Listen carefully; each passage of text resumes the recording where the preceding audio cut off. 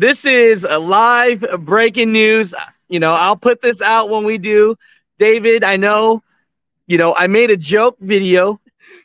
One person wrote Swift training yard, you know, he just tore an $80,000 pickup for a $15,000 Freightliner. Oh, man. Right.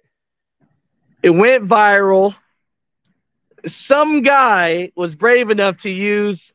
Tell me now, how much is your truck? Are you in the truck right now? I'm in it right now, uh, limping home. Are you serious? I am. I almost home. need you, David, to to to uh, go out of the truck, show the damage of the truck. Can we do that real quick? yeah, hold on. I let me see if I can. Uh, you hear that pop? That pop was my door. Yeah. So since it's facing me, I don't know. I'll I'll just. Oh, bro. So oh my gosh. Of course, that's not the rim that was on there. And you know. Just down the side, the mirror's all jacked up. Oh my gosh. This, is, this right here is where he bumped me the first time without really crashing into me, and I knew he just bumped it. But uh, but uh, what when he backed into that other truck, I, knew it was on, and then he came right at me, and then you know up, and then I just hazed him. So, That's crazy, brother. So, you know, dang. So, do we get it right? Uh, like the title, is it an eighty-five thousand dollar truck, or how much is it? Hey, yeah, well, with taxes and everything, you're only two thousand dollars off. My gosh. So, David, I know we want to shout out some people. We want to, uh, you know, uh, and we want to say exactly what happened. So, tell me, man. So, just walk us through it. What happened and what made you want to ram your eighty-seven thousand dollar truck into this uh, uh, Freightliner? well, yeah. So uh, the company there in Bakersfield, Green Globe, uh, right? We have a real, real good. It's a real good culture. You know, we all kind of work together there, and uh, I uh, helped build another company, and we subhauled for them. And so I've been friends with those guys for like seven years. And the mechanic there, Speedy, who I suspect was the one that had that camera angle that you put on YouTube. Uh, I trust him, really, you know. And he came in, you could see in his eyes. He said, "Dude, they're." It, you know, and he's he's one of those guys. He'll kid you, you know, a little bit. But when he came in, I knew right away yeah, something was up. And I go, "What's going on?" He goes, I, "I'm on uh, 911. I just called. They're trying to steal a trailer out back."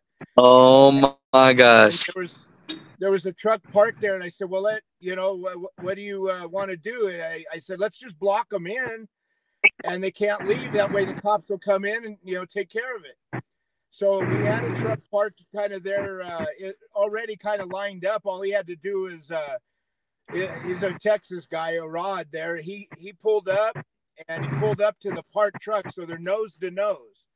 And Speedy was taking care of the shop side, but I saw that, you know, there's a little bit of a gap, and I kind of wanted to see which way they were going to go, so I backed up into that little gap and those those two guys uh, they had disconnected from the trailer that they trying to steal. They were trying to steal a, a reefer that's only a couple years old, a reefer unit, and uh, they came.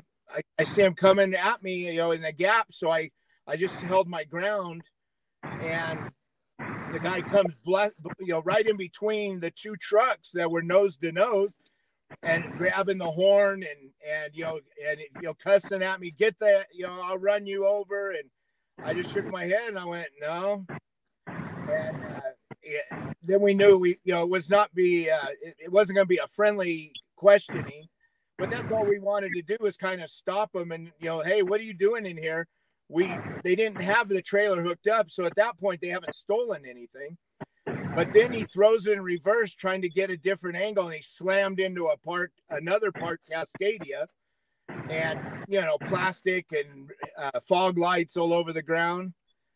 So then he turned around and, and came right at me, and he tried to fit between the the tractor that I was parked alongside.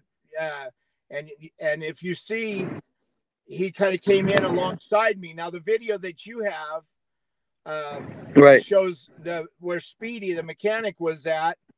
He was the one taking the video because he wanted to get pictures of them, you know, their faces, and uh, and the truck, obviously. But see, he was, you know, like I said, it's a tight knit community as far as trucking in that area. And he was alerted by another yard that these guys were going in with this truck and stealing trailers, just plucking them right out of the yards. And uh, he saw it and you know he just went right to work and we've had several things golf carts for the security guy just come in and drive it right off broad daylight And so they've got you know now they've got an extensive camera system and you know it's a really uh, a, a lot better situation but this is broad daylight on a friday. So that guy came in and when he came in he hit my truck. And when he hit my truck he hooked up to the bumper. And at that point i thought okay now there's damage to my truck. But then Yeah. he kept going and i didn't want him to leave and get away. I wanted to get his insurance information. I don't know what i was thinking. But anyway so i just kind of kept him in the yard and uh the ford versus freightliner uh ford won I, well maybe that's i shouldn't say ford won but ford held its ground yeah, hey, hey, you you need to send that in for a Ford commercial, man. yeah, that would be built Ford tough, huh? But, so yeah, I don't know. It was just it was one of those things that you know, you as a owner operator and you know helping to run a company, the these you know it's bad enough right now the way the market is to make a living, and these guys are just reaping. They're just taking all profit, you know, the cream right off the top, and they're using nefarious means to do it. And you know, and like I said, I just felt obligated to protect my friends there at Green Globe and their equipment. And like I said, we're like brothers, you know. We, uh, I mean, this truck, Alex, this truck went on the truck convoy. I was in Maryland for a month and a half, you know, uh, trying to get into Washington D.C. And we broke their their blockade that uh, Biden's uh, administration had, you know, they had uh, put dump trucks blocking the off ramps. Well, we went in behind the RVs, and this truck got to go in downtown uh, Washington D.C. flying an American flag. So, kind of, you know, th- this truck's got some trucking history, and now now it's on your show, you know, and it's like, oh my god. Uh, but yeah, we've. Uh, I I was surprised. I was surprised that it went, you know, it, it was so popular and went viral like that, you know. So you know, it, it turned out that truck was a stolen truck. The guys bailed out and ran on foot. So we were left holding the, you know, of course the company was very happy to get it.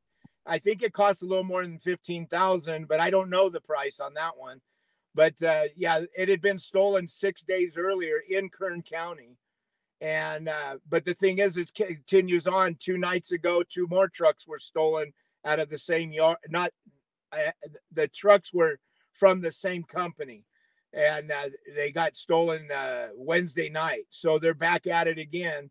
And so uh, now we're just all all of us in Bakersfield are going around in that area just looking for trucks that don't have the the you know their DOT numbers and you know that they things have been taken off because and reporting it you know to the CHP or the you know the sheriff's department. But yeah, we were fortunate. They didn't get away with anything.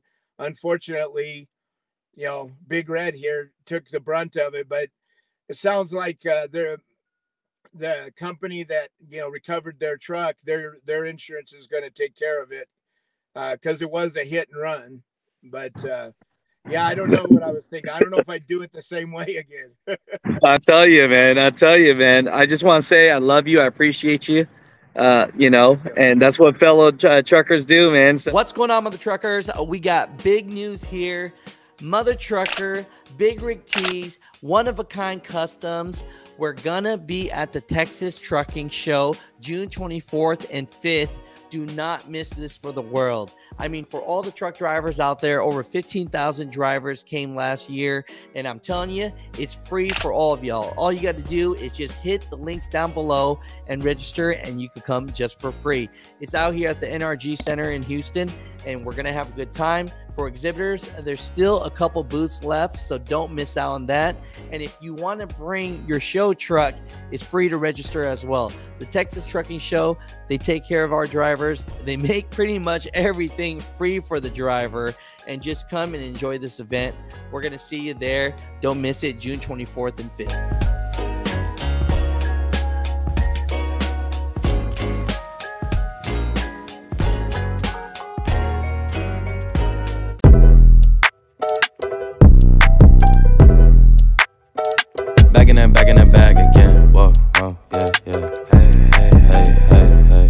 Back in that, yeah. Tell them to watch it. Now I ain't talking my pockets, just know we ain't running out the way that we stock it. If I got it, you got it. If I call it, she sliding, tell her to mop it. Yeah, I got that shit doing.